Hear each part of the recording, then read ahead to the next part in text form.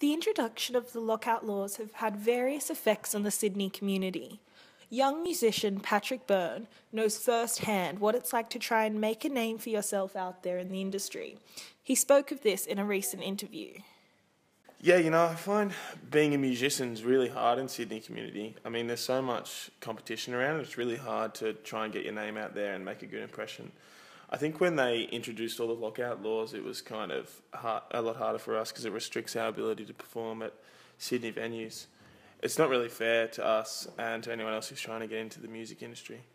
Uh, yeah, I'm looking forward to getting back out there and booking some more gigs. You know, um, when some of the venues that don't have curfews anymore I can always, we can always still perform there. I just want to see more um, places that don't have curfews because then the music industry can grow and we can try and start it up again.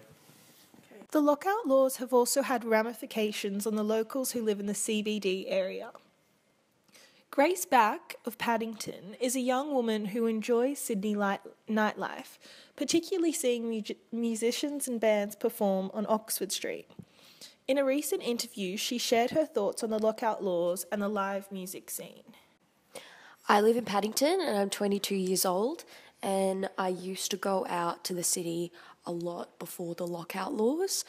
Um, but when they were in place, my friends didn't really like we didn't really want to go out anymore. We used to go out to Oxford Street a lot, but it just became too difficult and it was easier to stay at home or to go to other places where they didn't have the lockout laws.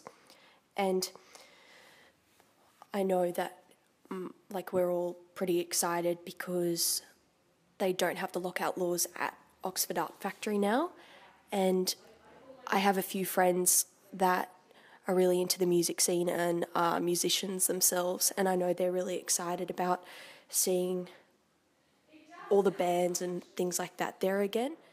Yeah, I think I think it's really important to um, let young musicians have an outlet for them to perform. Um, it'll be nice to go back into the city again to see musicians perform because we've had to go to places like Newtown or like to the eastern suburbs to try and see um, bands and musicians play. But I mean, hopefully there'll be other businesses that also get rid of the lockout laws and they can open Sydney again.